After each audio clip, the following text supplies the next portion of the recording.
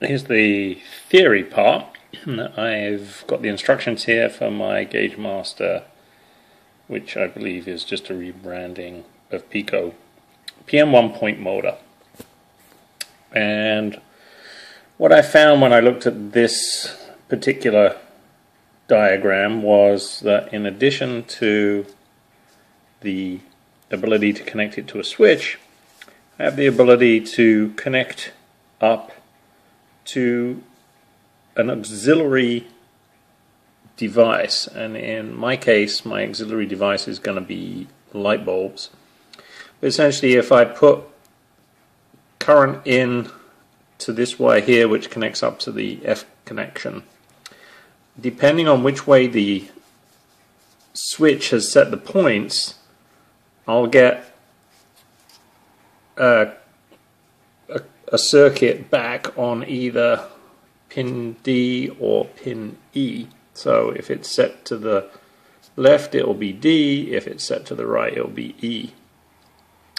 So what that translates into is this little diagram here of how I'll set things up.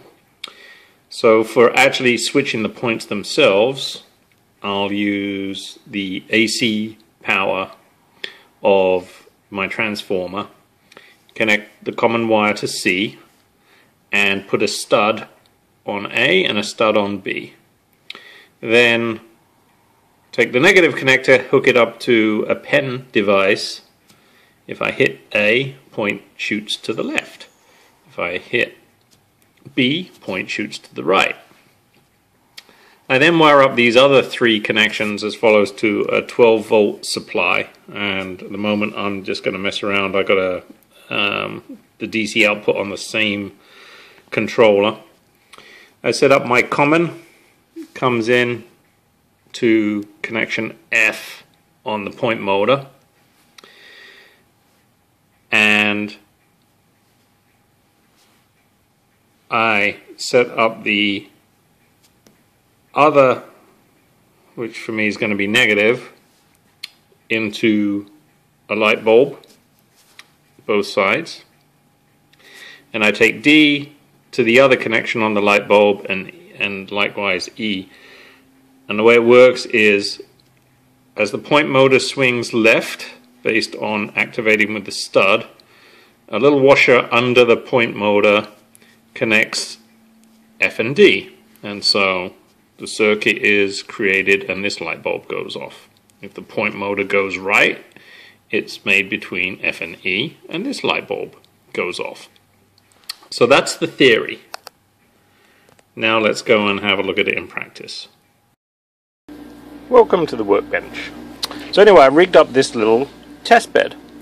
I've been thinking about doing a pen and stud instead of switches. So before I've been using these type switches, or I've been using uh, DCC to switch. I quite like the idea of having some kind of a, a you know a track plan drawn out and just being able to switch by touching your contacts right on the on the plan. So what I've done is I've got a couple of carpet tacks actually um, as my studs.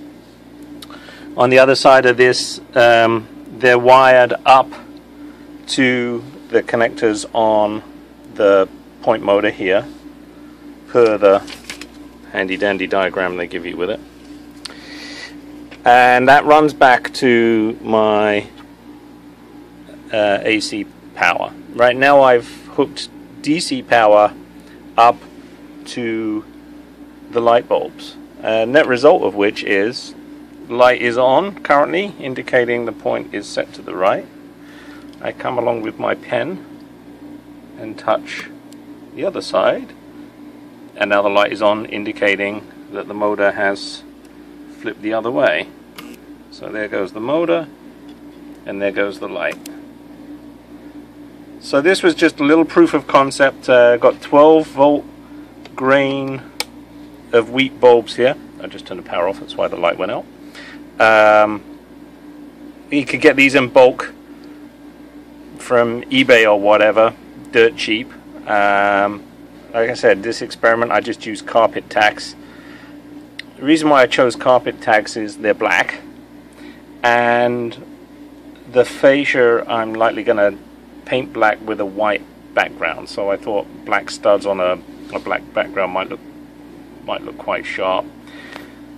So the the wiring looks a lot more complicated than in reality it is. Um, back here, the the blue, green, and yellow wires are what are driving the power to the point motor there. Um, so they're hooked up to the studs.